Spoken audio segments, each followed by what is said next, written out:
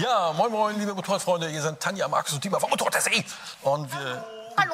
grüßen euch zum dritten Teil unserer, äh, ja, unserer Videoserie Motorrad des Jahres 2023. Wir wählen ja mit euch gemeinsam die schönsten, tollsten Bikes aus neun Kategorien. In diesem Teil geht es um, den, äh, um die Kategorie Sport Bikes.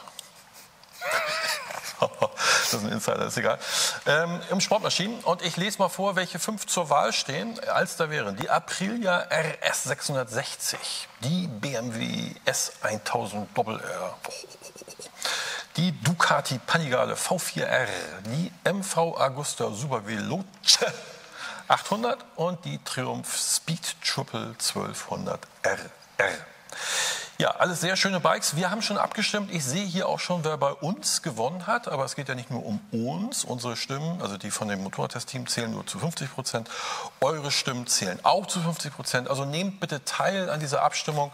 Guckt mal in der Videobeschreibung, da wird alles beschrieben. Das sage ich, das müssen wir jetzt leider jedes Mal kurz nochmal sagen. Ist ein bisschen langweilig, aber vielleicht gibt es ja den einen oder anderen, der jetzt erst einsteigt in diese Videoserie.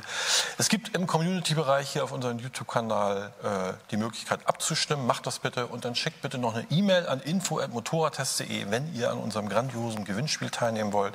Über 25 geile Gewinne und auch äh, welche, was ihr gewinnen könnt. Dazu gibt es auch einen Link, da haben wir nämlich ein extra Video gedreht. Also, viel Spaß beim Abstimmen. Macht alle mit, bitte. Lohnt sich. Wir freuen uns und grüßen euch aus Glückstadt und sagen Tschüss. Bis bald.